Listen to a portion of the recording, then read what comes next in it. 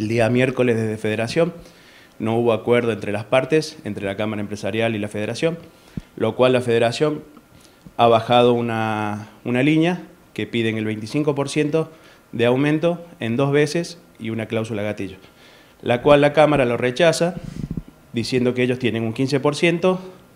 más el 5% que se le agregó con el acuerdo del día jueves pasado entre CGT y Gobierno, que agregan un 5% más y lo quieren dar en tres veces.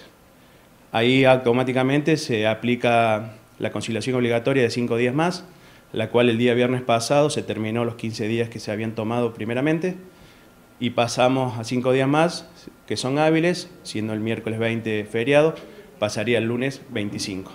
Nosotros hicimos una convocatoria una asamblea extraordinaria para el día sábado 30 de junio en el salón del 24 de septiembre a las 16 horas. E informamos que si no cubrimos la mitad más uno de los afiliados, se prorroga 60 minutos y se da inicio a, la asamblea. Nosotros tenemos los puntos del día como presentar el, informe financiero de la situación que estamos viviendo en la institución y a su vez hay un pedido del 1% extraordinario de los aportes de los afiliados por 12 meses con una revisión en el sexto mes.